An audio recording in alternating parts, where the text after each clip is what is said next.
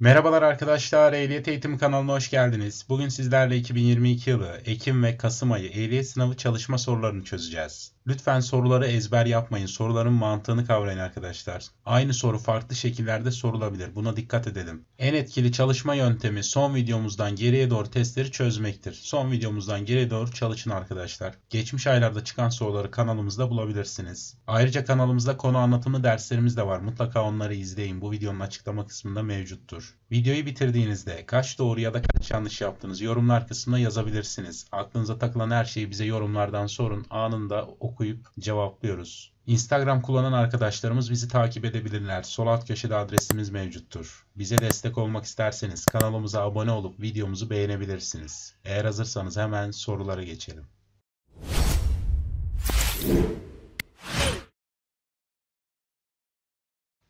Aşağıdakilerden hangisi motor ömrünü etkileyen en önemli faktördür? A. Alaşımlı jant B. Motor yağ kalitesi C. Doğru yapılmış far ayarı D. Delinmiş egzoz susturucusu Doğru cevabımız B seçeneği olacaktır. Motor yağ kalitesi motor ömrünü etkileyen en önemli faktördür. Ucuz yağ kullanmayalım ve aracımızın yağını tam zamanında değiştirelim arkadaşlar. Aksi takdirde bize çok fazla masraf çıkarabilir. Tamircilerle akraba olabiliriz. Şekildeki trafik işaretinin anlamı nedir? A. İleri mecburi yön. B. Girişi olmayan yol. C. Geçme yasağı sonu. D. Hız sınırlaması sonu. Doğru cevabımız B seçeneği olacaktır. Girişi olmayan yol anlamındadır. Bu tabelayı gördüğümüz yola girmeyeceğiz arkadaşlar. Girişi olmayan yol anlamındadır. Aşağıdakilerden hangisi geçiş üstünlüğüne sahip araçlardandır? A. Zırhlı taşıt B. Kamu hizmeti taşıtı C. Organ nakil aracı D. Umum servis araçları Doğru cevabımız C seçeneği olacaktır. Organ nakil aracının geçiş üstünlüğüne sahiptir arkadaşlar. Diğer şıklara göre organ nakil aracı bir ambulans kadar önemli olduğu için geçiş üstünlüğüne sahiptir tabii ki de. Aşağıdakilerin hangisinde şok pozisyonu vermek sakıncalıdır? A. Tansiyonu düşük ve nabız alınamayanlarda. B. Burnundan ve kulağından kanama olanlarda. C. El bileğinde açık kırık ve kanama olanlarda. D. Bacağında açık kırık ve kanama olanlarda. Doğru cevabımız B seçeneği olacaktır. Burnundan ve kulağından kanama olanlarda şok pozisyonu vermek sakıncalıdır arkadaşlar. Şok pozisyonu neydi? Hastanın bacaklarını 30 santim kadar yukarı kaldırıp uzandırıyoruz. 30 santimde ayaklarını yukarı kaldırıyoruz. Bu durumda burnundan ve kulağından kanama olanlarda sıkıntı olacaktır. Aracın gösterge panelinde şekildeki uyarı lambasının yanıyor olması neyi bildirir? A. Lastik basıncının düşük olduğunu B. El freninin çekili olduğunu C. Sis lambalarının yandığını D. Fren balatalarının bittiğini Doğru cevabımız D seçeneği olacaktır. Fren balatalarının bittiğini anlamamız gerekir arkadaşlar. Bu göstergenin ışığı yandığı zaman fren balatalarını değiştirmemiz gerekir. Devam ediyoruz. Aracın gösterge panelinde bulunan şekildeki mavi renkli ikaz ışığı aşağıdakilerden hangisi devrede iken yanar? A. Arka sis lambası B. Kısa hüzmeli farlar C. Uzun hüzmeli farlar D şıkkımız ise sol sinyal lambaları. Doğru cevabımız C seçeneği olacaktır. Uzun hüzmeli farlar devredeyken mavi renkte yanar arkadaşlar. Uzun hüzmeli farlar kapatıldığında normal bir şekilde ışığı söner. Aşağıdakilerden hangisi karayolunda bozulup kalan araçların tehlikeye meydan vermemesi için yapılması gereken işlemlerden biridir? A. Vitesin boşa alınması B. Araçta gözcü bulundurulması C. Aracın kapılarının açık tutulması D şıkkımız ise aracın ön ve arkasına birer kırmızı yansıtıcı konulması. Doğru cevabımız D seçeneği olacaktır. Aracın ön ve arkasına birer kırmızı yansıtıcı konulması yapmamız gereken işlemlerden birisidir. Koyduğumuz yansıtıcılar ise 150 metre mesafeden görülebilmelidir. Sırada görsel bir sorumuz var. Bu soruda çok takılan arkadaşlarımız oluyor. Şekle göre hangi numaralı araç sürücüsünün yaptığı öndeki aracı geçme kuralına aykırıdır? A1, B2, C3, D şıkkımız ise 4. Bu sorumuzun doğru cevabı B seçeneği olacaktır. 2 numaralı aracın sollama yaparken kurallara uymadığı görülüyor arkadaşlar. Neden? Çünkü solunda bir araç var. Bir numaralı araç. O araç en sol şeritte ve hızlı bir şekilde gidiyordur doğal olarak. O aracın geçmesini beklemeli. Bu soruda çok yanılıyor arkadaşlarımız o yüzden detaylı anlatmak istedim. Yine bir görsel soru daha arkadaşlar. Şekildeki gibi dönel kavşağa gelen bir numaralı aracın sürücüsü ne yapmalıdır? A. Korna çalıp 2 numaralı aracı durdurmalı. B. 2 numaralı aracın geçmesini beklemeli. C. Hızlanarak yoluna devam etmeli. D. Geçiş hakkını kendi kullanmalı. Doğru cevabımız B seçeneği olacaktır. 2 numaralı aracın geçmesini kesinlikle beklemelidir. Bu tür kavşaklarda öncelik kavşağa en yakın olan araç. Yani kavşaktaki aracın önceliği var arkadaşlar. Görüyorsunuz 2 numaralı araç zaten kavşağa girmiş durumda. Önce o gidecek sonra 1 numaralı araç girebilir. 4 zamanlı dizel motorlarda zamanların oluşum sırası aşağıdaki gibidir. Emme zamanı, sıkıştırma zamanı, ateşleme zamanı ve egzoz zamanı. Buna göre hangi zamanda sadece hava pistonla sıkıştırılır? A. Emme zamanı B. Sıkıştırma zamanı C. Ateşleme zamanı D şıkkımız ise egzoz zamanı. Doğru cevabımız B seçeneği olacaktır. Sıkıştırma zamanında sadece hava pistonla sıkıştırılır arkadaşlar. Devam edelim. Beyin insan vücudundaki hangi sistemin bir parçasıdır?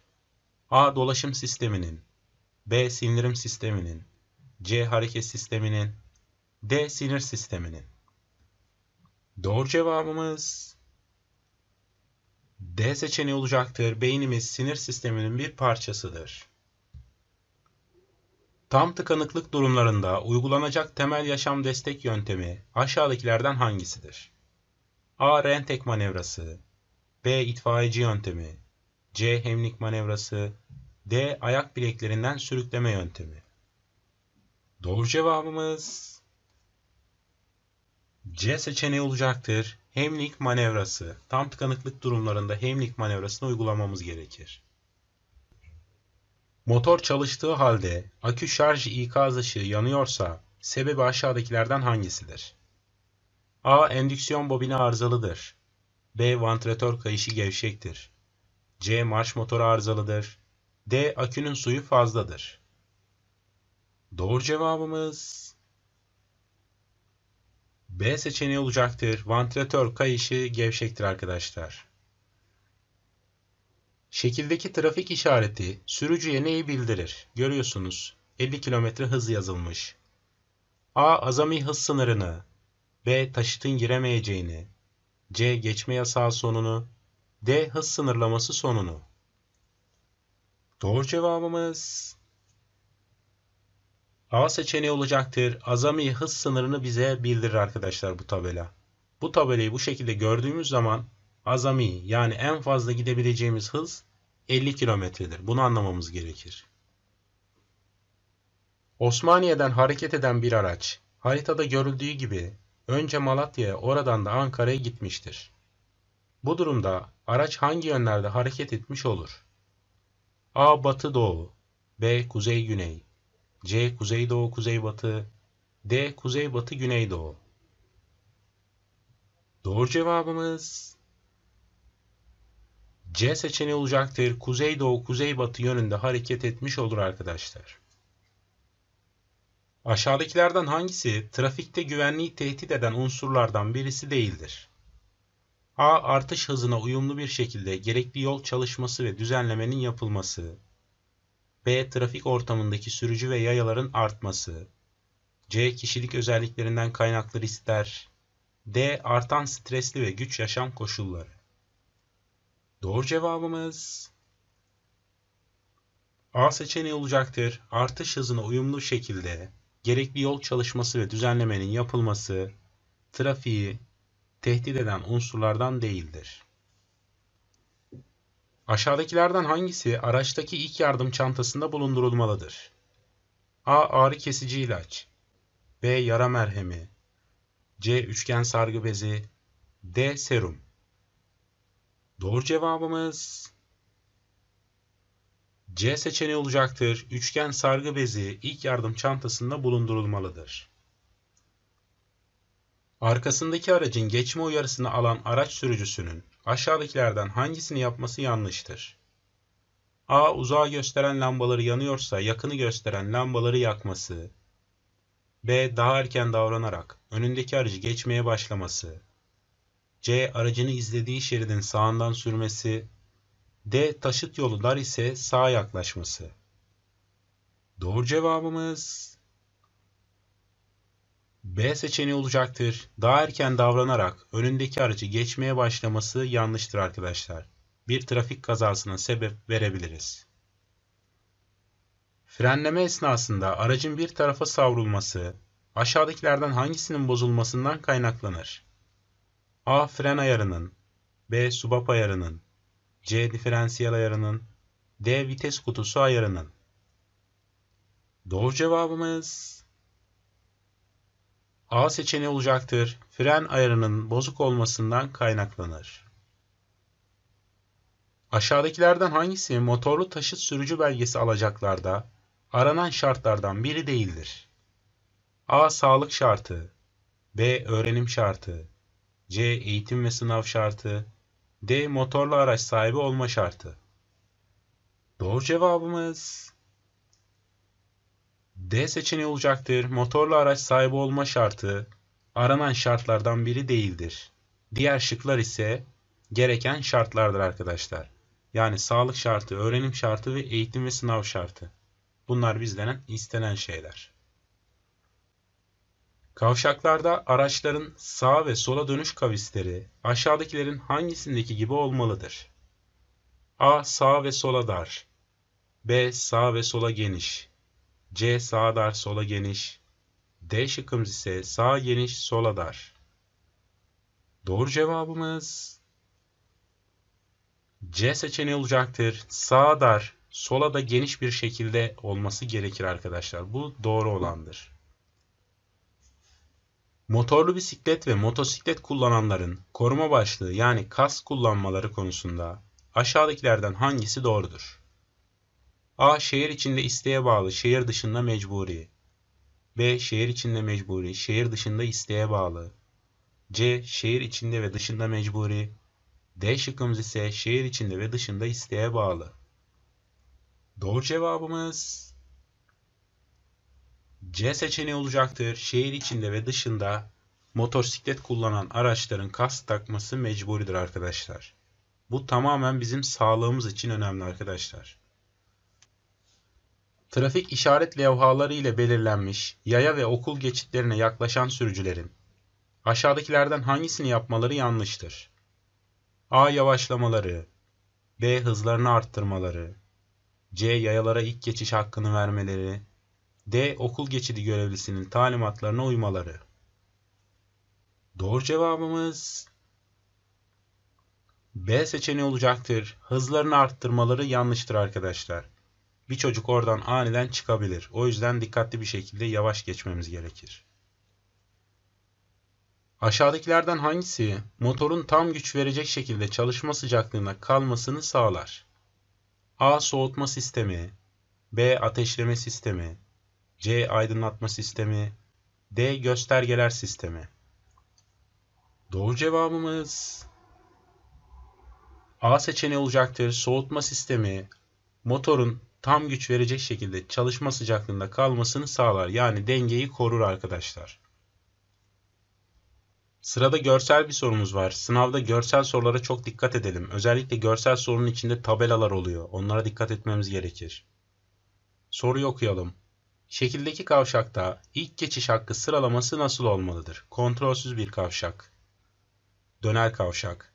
Şıklara bakalım. A 1 2 3, B 1 3 2, C 2 3 1, D 3 1 2. Doğru cevabımız C seçeneği olacaktır. 2, 3 ve 1 sıralamasıyla olmalıdır. Az önce bu tarz bir soru çıkmıştı dönel kavşakla alakalı. Söylemiştim yine yine söyleyeyim. Dönel kavşağa en yakın olan araç yani kavşağa giren aracın önceliği var. Önce o bir gidecek. Sonrasında iki araç kalıyor. 1 ve 3 numaralı araç. Bu da kontrolsüz bir kavşak olduğu için en sağdaki aracın önceliği var arkadaşlar. Yani baktığımız zaman varsayalım ki biz 1 numaralı araçtayız. Sağımızda 3 numaralı araç var. En sağdakinin önceliği olduğu için 3 numara önce geçecek. En sonunda 1 numara geçecektir. Kontrolsüz kavşaklarla alakalı bir videomuz var. Bu videonun açıklama kısmına ben linkini bırakacağım. Detaylı anlattım orada. Mutlaka o videoyu izleyin. Buji kablolarından biri çıkmış ise motor nasıl çalışır? A. Çalışmaz. B. Sarsıntılı. C. Sarsıntısız. D. Yüksek rolantide. Doğru cevabımız B seçeneği olacaktır. Buji kablolarından biri çıkmış ise aracımız sarsıntılı bir şekilde çalışır.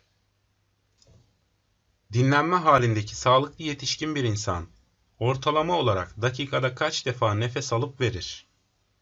A 5 ila 10, B 12 ila 20, C 25 ila 30, D 35 ila 40. Doğru cevabımız B seçeneği olacaktır. 12 ila 20 yani dakikada 12 ila 20 kez nefes alıp veririz arkadaşlar. Dinlenme halindeki sağlıklı bir kişi için bu şekilde. Aşağıdakilerden hangisi aracın hızı arttıkça meydana gelebilecek tehlikeli durumlardandır? A. Fren mesafesinin artması. B. Güvenli sürüşün sağlanması. C. Aracın kontrol edilebilirliğinin artması. D. Engele, engelle karşılaşıldığında doğru noktada durulması. Doğru cevabımız A seçeneği olacaktır. Fren mesafesinin artması başımıza gelecek tehlikeli durumlardandır arkadaşlar. Seyir halindeyken araçtan yanık kablo kokusu alınırsa aşağıdakilerden hangisi yapılır? A. Yakıt seviyesi kontrol edilir. B. Önemsenmez yola devam edilir. C. Lastiklerin hava basıncı kontrol edilir. D şıkkımız ise durulur, kontak kapatılır ve akü bağlantısı çıkartılır. Doğru cevabımız D seçeneği olacaktır. Durulur, kontak kapatılır ve akü bağlantısı çıkarılır. Doğru yapmamız gereken şey budur. Baş ve omurga yaralanması olmayan birinci kapalı kazazedenin hava yolunu açmak için kazazedeye aşağıdaki baş pozisyonlarından hangisi verilir? Lütfen tüm şıklara dikkatli bir şekilde bakalım. Bu sorumuzun doğru cevabı C seçeneği olacaktır. Görüyorsunuz. Başı geriye doğru, çenesi açık bir şekilde arkadaşlar. Bu şekilde yapmamız gerekir hava yolunu açmak için. Şekilde görülen geçiş üstünlüğüne sahip araçların görev halinde karşılaşmaları durumunda ilk geçiş hakkı hangisine aittir? A. itfaiye aracı B. Polis aracı C. iş makinesi D. Ambulans Doğru cevabımız D seçeneği olacaktır. Öncelikle ambulansın geçmesi gerekir arkadaşlar. Sonrasında itfaiye, sonra polis aracı, en sonunda iş makinesi geçebilir.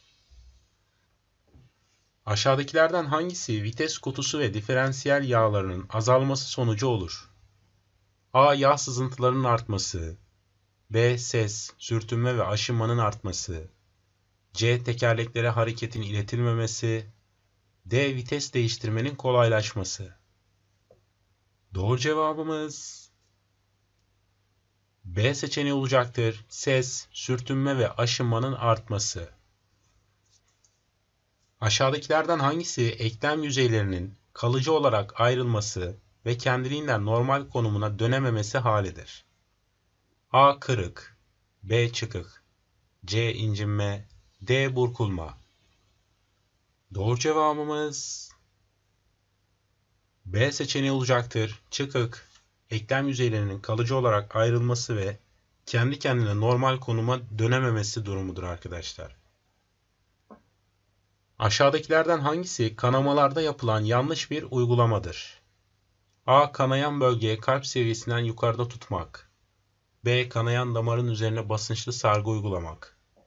C. Kanayan bölgeyi kalp seviyesinden aşağıda tutmak. D şıkkımız ise kanayan damarın üzerine bastırmak. Doğru cevabımız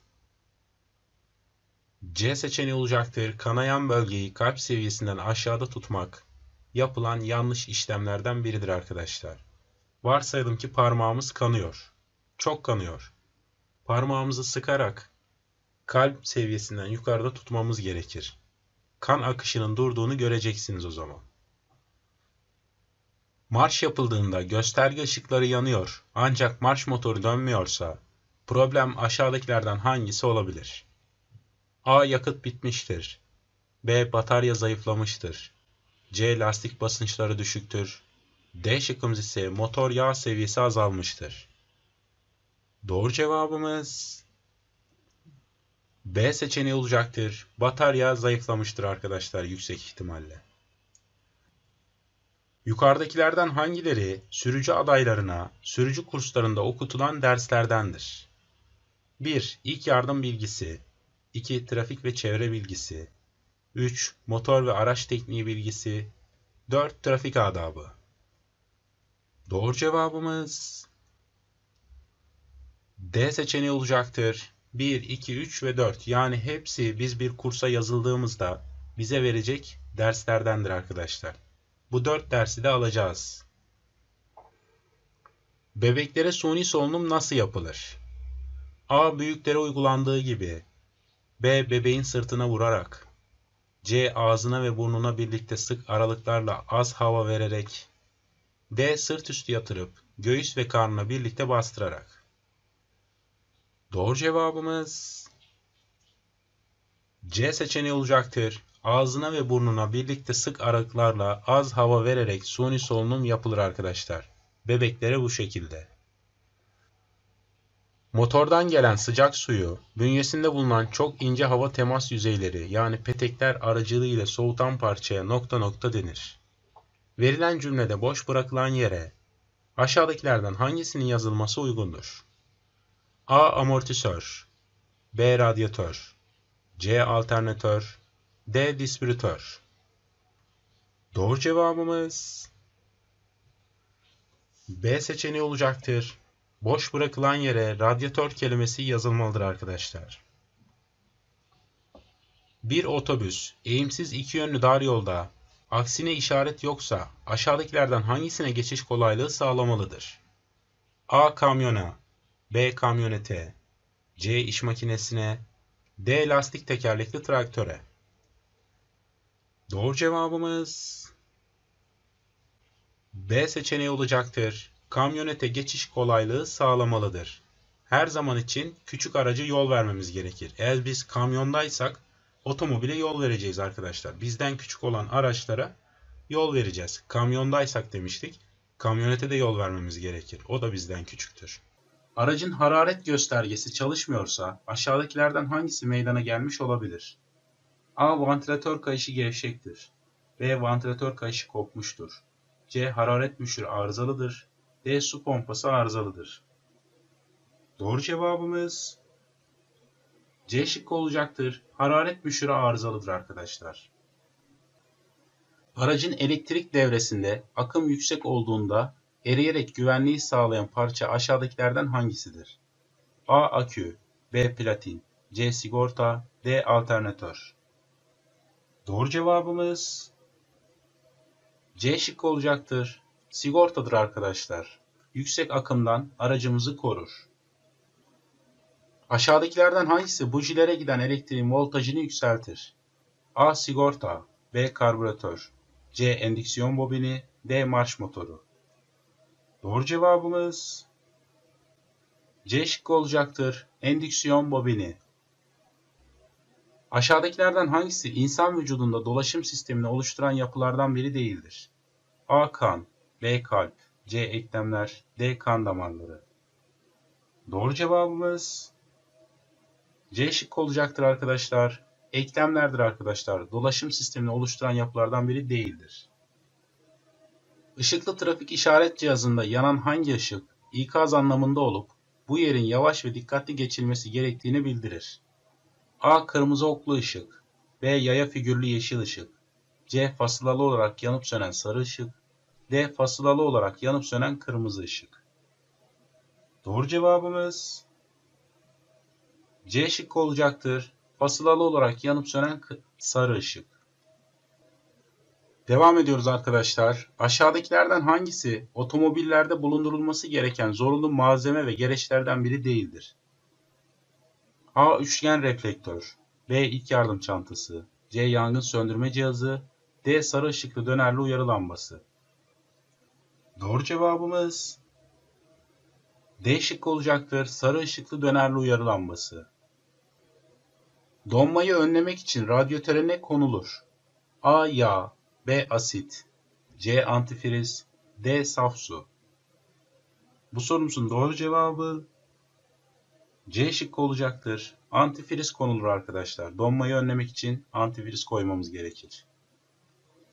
Karayollarında araç kullanan bir sürücünün aşağıdakilerden hangisini yapması yasaktır? A. iki şeridi birden kullanması. B. Aracını gidiş yönüne göre yolun en sağından sürmesi. C. Gidişe ayrılan yol bölümünün en sol şeridini sürekli işgal etmekten kaçınması. D. Şerit değiştirmeden önce gireceği şeritte sürülen araçların güvenle geçişlerini beklemesi. Doğru cevabımız A şıkkı olacaktır. İki şeridi birden kullanması yasaktır arkadaşlar. Trafik kazasına sebep olabilir. Aşağıdakilerden hangisi şok belirtilerindendir? A. Deride kızarıklık olması. B. Bilinç seviyesinin artması. C. Vücut sıcaklığının artması. D. Nabzın hızlı ve zayıf olması. Doğru cevabımız D şıkkı olacaktır. Nabzın hızlı ve zayıf olması. Aşağıdakilerden hangisi motorun harareti yükseldiğinde yapılması gereken işlemlerdendir? A. Motorun üzerine su dökülmesi. B. Klimanın çalışıyorsa kapatılması. C. Motorun stop edilerek soğuk su ilave edilmesi. D. Motor stop edilerek soğuk antifriz ilave edilmesi. Doğru cevabımız B şıkkı olacaktır. Klimanın çalışıyorsa kapatılması gerekir arkadaşlar.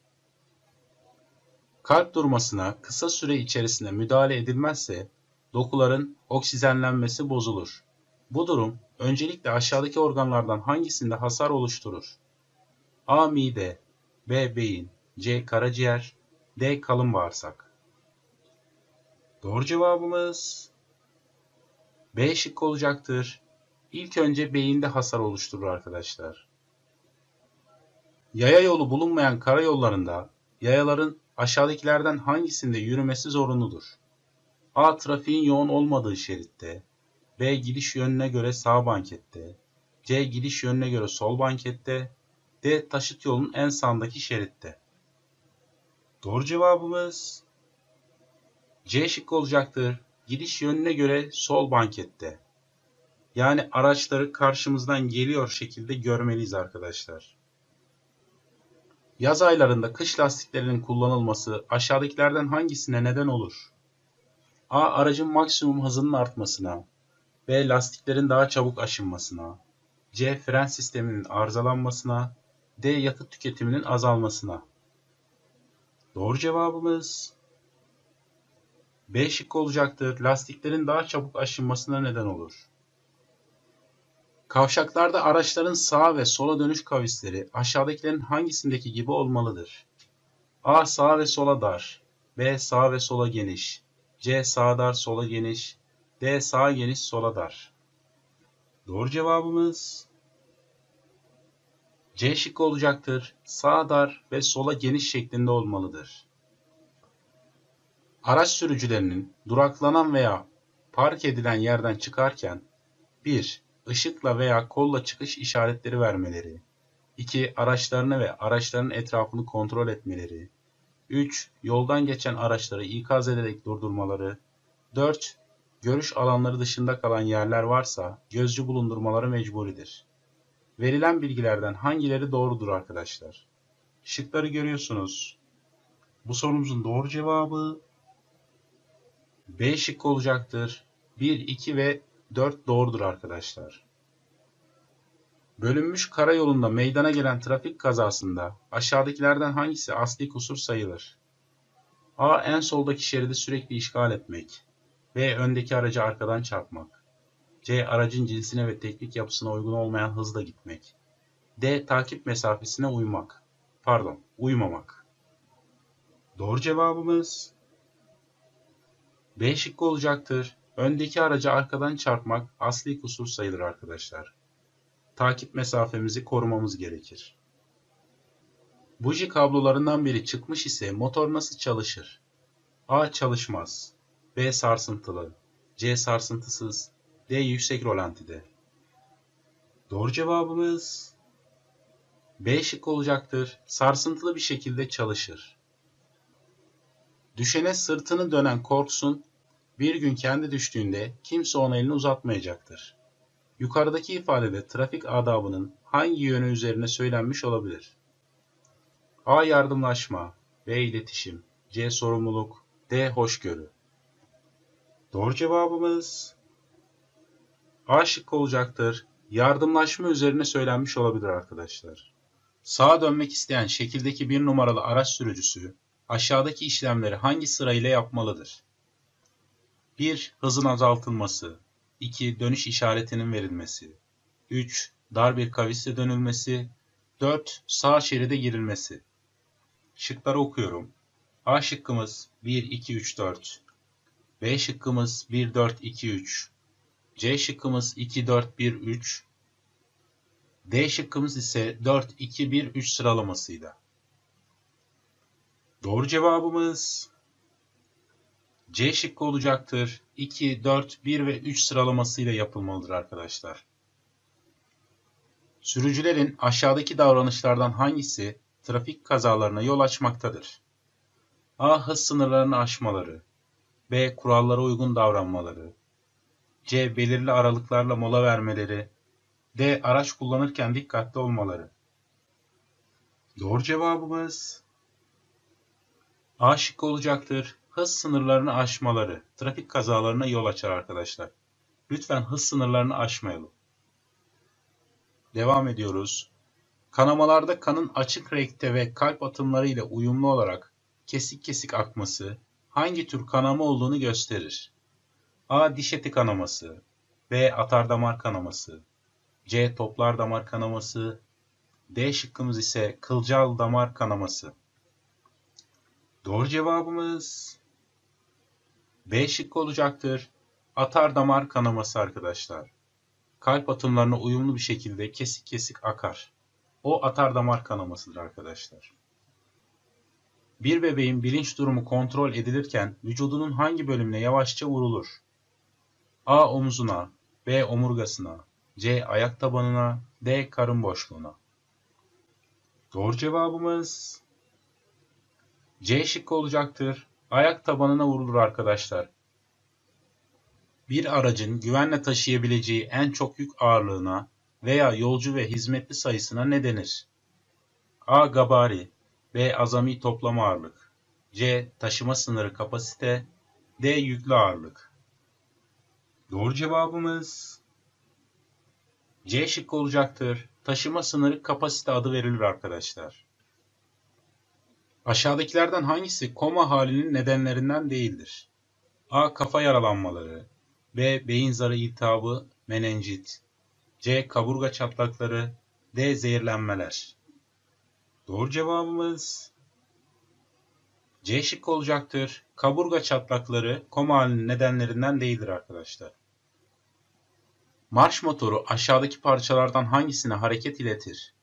A. Volan dişlisine B. Diferansiyele C. Amortisöre D. Fan motoruna Doğru cevabımız A şıkkı olacaktır. Volan dişlisine hareketi iletir. Kamyon, kamyonet ve römorklarda yükle birlikte yolcu taşınırken aşağıdakilerden hangisinin yapılması yasaktır? A. Yüklerin bağlanması B. Yolcuların yüklerin üzerine oturtulması C. Kasanın yan ve arka kapaklarının kapatılması D. Yolcuların kasa içinde ayrılmış bir yere oturtulması. Doğru cevabımız B şık olacaktır. Yolcuların yüklerin üzerine oturtulması yasaktır arkadaşlar. Kontrolsüz kavşaklarda aşağıdakilerden hangisinin yapılması doğrudur? A. Şerit değiştirilmesi. B. Öndeki aracın geçilmesi. C. Aracın hızının arttırılması. D. Geçiş hakkı kurallarına uyulması. Doğru cevabımız D şık olacaktır. Geçiş hakkı kuralına uyulması. Bu doğrudur arkadaşlar. Yerleşim yeri içinde trafik işaret levhalarına yaklaşım yönünde kaç metre mesafede duraklamak yasaktır? A 15 metre, B 20 metre, C 30 metre, D 50 metre. Doğru cevabımız A şık olacaktır. 15 metre mesafede du duraklamak yasaktır arkadaşlar. Marş yapıldığında marş motoru çalışmayıp korna da çalışmıyorsa muhtemel arıza aşağıdakilerin hangisinde olabilir? A. Aküde B. Bujilerde C. Jikle devresinde D. Rölanti devresinde. Doğru cevabımız A şıkkı olacaktır. Muhtemel arıza aküde olabilir arkadaşlar. 1. Doğrultu değiştirme manevralarını yanlış yapmak. 2. Önde giden bir aracı güvenli ve yeterli mesafeden izlememek. Yukarıda verilenler trafik kazalarında rol oynayan faktörlerin hangisinin içinde değerlendirilir? A. Araç kusurları B. Yaya kusurları C. Yolcu kusurları D. Sürücü kusurları Doğru cevabımız D şıkkı olacaktır. Sürücü kusurları.